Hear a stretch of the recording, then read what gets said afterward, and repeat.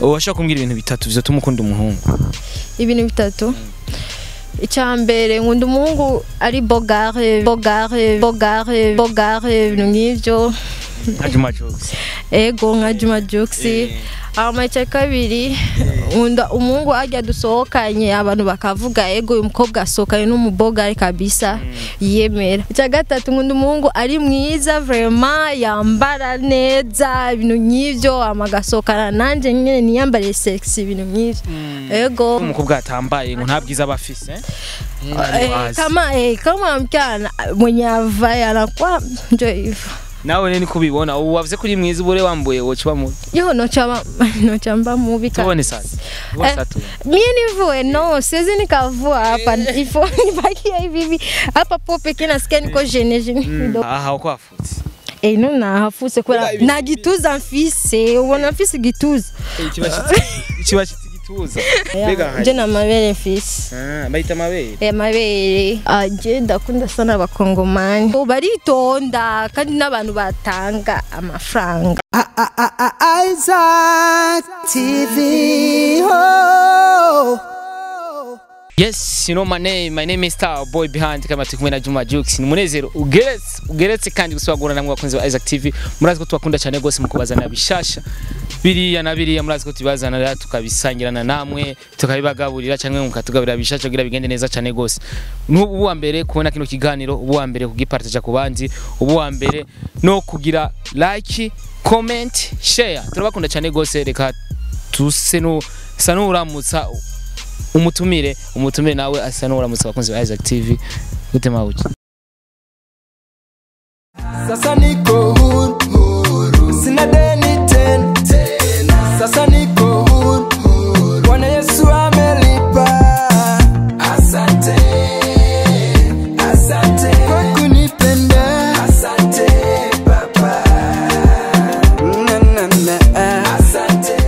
ni sawa? Meze neza? Ego meze neza. Cyane. Cyane gose maze uramutse abakunzi ba Isaac TV kugira dutangure ikiganiro neza. Ah, ndabaramukije mwese. Murakomeye. Ibintu nk'ibyo. Bameze neza cyane. Ndabazi n'abantu baguma bameze fresh. Mwabuja ku mazina abantu bari kubadukurikirana bashaka kumenya ni ndetse ko turavugana profile yiwe bashaka kumenya ninde Ah, nje mu mazina yanjye nitwa Noella Irakoze me nyita Ella. Eh nkaba eh, ukaba nkaba mba ino nyene mcyarama ego. Yita Ella uno mukobwa ku batamuzi asanze. Sometime arajya mu mavideo like nk'uko sivyo ego. Ndi mukuni video eh maze kujya mu video nyinshi nyinshi cyane amaze kuja muri video nyinshi cyane umukobwa arabona ntacyo abaye ameze bien sana. Eh, ngerageje kuraba era ngerageje kuraba profile zawe nabonye ufise amatatu menshi cyane. Eh, iyo ugiye gushirako tatu nicyaye ikintu nicyaye ikintu gituma uja gushirako tatu tatuage oya narabikunze gusa. Eh iyo ukoze tatuage mugabo ufise tatu uvuga ati mbona nashyize ko tatu imeze uku kubera iki? Eh, ngerageje kuraba mu mugongo gatoyi hariko tatu handitse gute? Eh, gatoyi duhindukire kugira ayibone. Eh, handitse ko mama. I love you. Mama washyize ko I love you mama. Bisigura yuko tatu wagiye kuyishirako ufise impamvu washyize ko ego nashyize kubera impamvu kubera ndamukunda cyane mama wanje. Ego. okay. Tugira ibintu bitatu bituma eh, uvuga yuko ukunda mama yagukoreye bita- bitazokuva muri we ibintu bitatu gusa naho hozi iki bitashobora kuvamo mama yagukoreye? Ameniza aniza mtoto mzuri. Vitu kama hivyo kisi watu wananiona hapa. Vitu kama hivyo. Kingine. Kingine napo namshukuru mama wangu kwa kuwa amenileta kwenye hii dunia.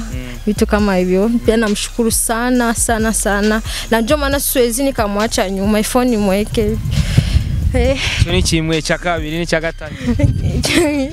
Ah, ani niwe- niweka mtumbo miezi mitisa.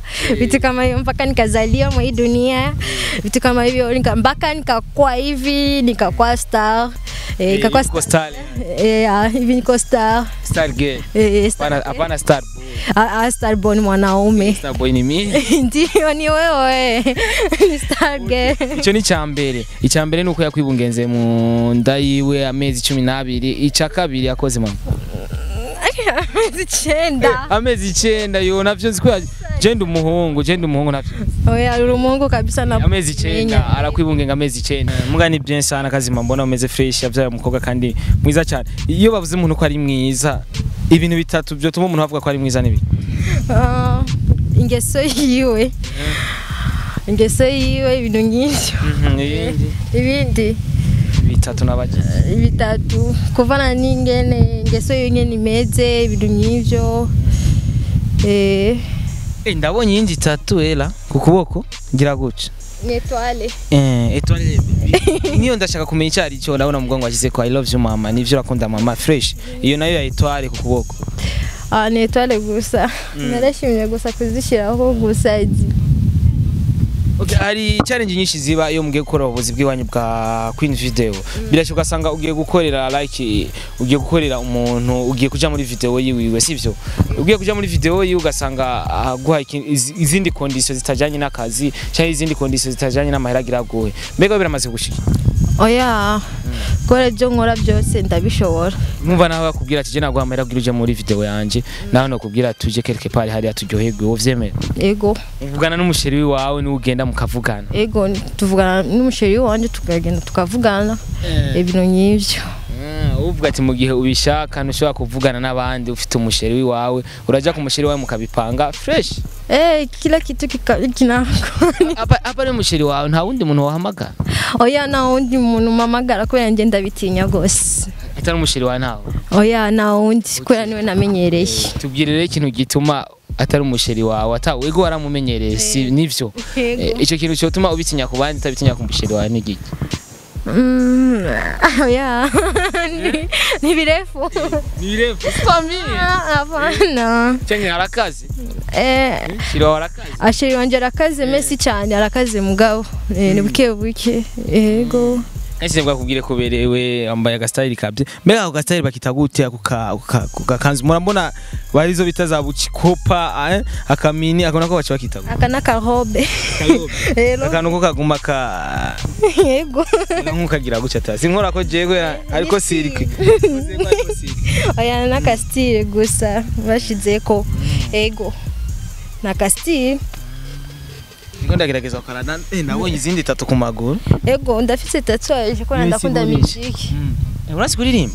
Ego ndazi kuririmba. Gatoyi rero indirimbo y'umuntu. Eh?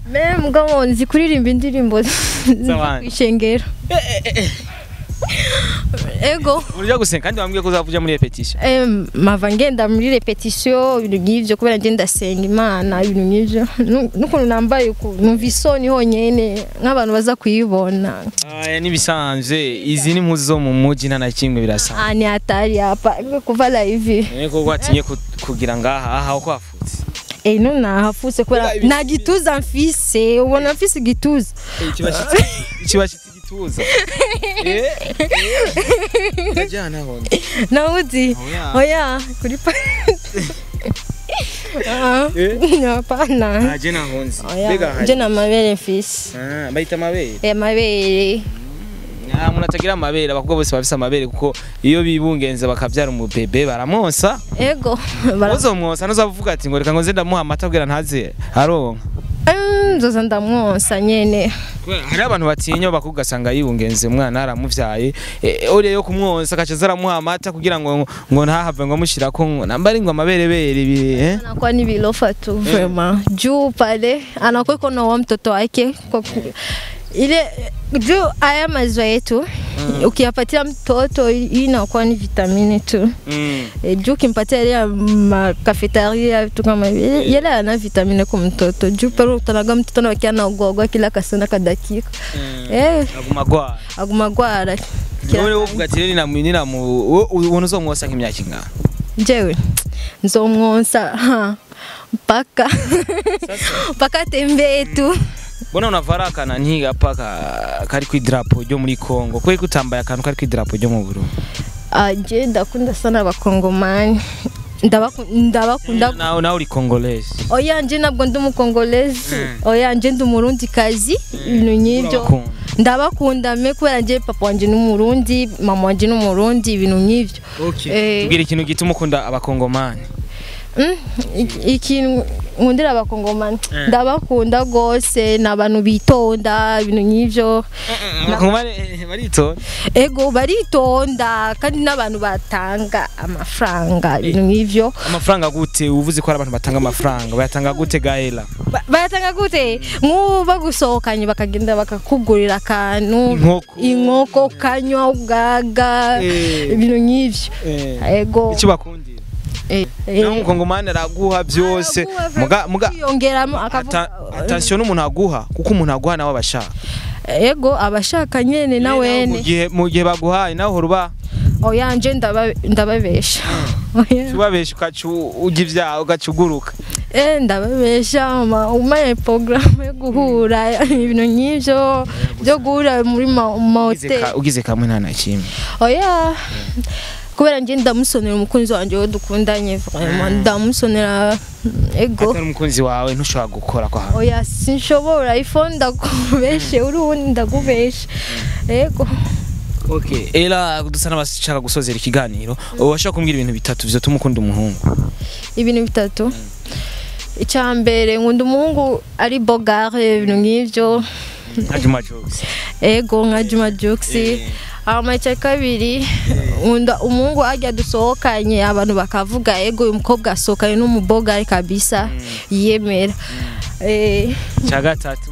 Icya gatatu nkunda umuhungu ari mwiza vrema yambara neza ibintu nk'ibyo agasohokana nanjye nyine niyambariye sexy ibintu nk'ibyo ego. Nukunda umuhungu usanze ntatakaza zina. Eh sinzi umuhungu atakazi afise. Atakaza azi gukora. Ntiwaba usanga uca umwanka kandi afite izo karita oya nuca ndamwanga nyene. Ubu ushaka umuntu nyene eh, akubita nyene. Akubita kandi ngo ingoma za kera ngo nizo zavuga cyane. Akubita nk'ingoma za kera. Yego ni hatari he na njo hivyo vraiment. Niho sawa. Eh, niyo sawa kabisa. Eh, hajya none bakunda kuvuga ati ubwiza ku mukobwa ububona yambaye ubundi bakavuga ati ubwiza ku mukobwa ubwiza ku mukobwa ubu- ububona yambaye atambaye nta bwiza umubona. Kwe niko ubibona? Oya. Unaweza ukakuwa unavaa me Unataka kuvuga? haupendi na iyo vitabu umukobwa atambaye ngo nta bwiza aba afise Eh, kama eh, kama mchana. Mwenye avae anakuwa njo hivyo. Nawe rero niko ubibona ubu wavuze ko uri mwiza ubure wambuye woca uba mubi. Yo nochama nochamba mubi ka tubone sasa Eh, Satu. mie nivue no siwezi nikavua hapa. Ifo nibakia hivi hivi. Hapa po pekee nasikia niko jene jene kidogo kidogo. Ela reka duse n'ugusezera ubwo twayaze byinshi kandi maze ikiganiro ko cyari kiryoshye ego cyari kiryoshye cyane kabisa. Okay sa n'ugusezera abakozi ba Isaac TV bwira dusozera ikiganiro ama tuje ku asasi sita urabona irageze bwa dufungura ego amasaha arageze n'ukuri yo kugenda gufunga muganje ndahaze rwose. Kubera navuye muhira mfunguye. Sezera abakozi ba Isaac TV bwira duse n'abasoza baheze Ah, ndabas- ndabasezeye ikiganiro cyacu kiraheze kandi dushaka ko muza kugira subscribe. Muri muri iki kiganiro baraguha n'amadiri ku Queen Video. Eh, umusozi murama n'amadiri kubera amaze kwinjira mu mavideo menshi cyane ku basitari bazwi kandi cyane ibintu nk'ibyo gira utuntu two uhora ugira mu mavideo kubera sometime mu mavideo bariko barafata inseri. Eh baravuga ati eh, eh ati eh? Ah, ni bebe joli. Joli. Sawa. Ah, era wagize neza udo umwanya ego murakoze cyane ibintu nk'ibyo Ego. Yes, my name is Star Boy behind kama kwa kumwe na Juma Jokes murazi ko tuguma tubazana ibintu ku mwanya. Uno muso no mukobwa uno mushiki wacu akora ubukwini video no waronka idiri nawe uvimba ufite indirimbo. Mushiremo nta na kimwe. Urabona ko aberewe ameze fresh. No wamushira mu uzobuhomvye uzomuhe gusa kanoti kaboneka ko akunda abantu batanga inoti nyinshi. Sivyo? Bye ntubagire kugira subscribe na share na comment na like. Turabakunda cyane gose no mustori gato. Reka ndamuha chance kandi. Cye nkunda gutanga chance. Namwe ndabahaye chance kuri Isaac TV. Isaac TV. Oh.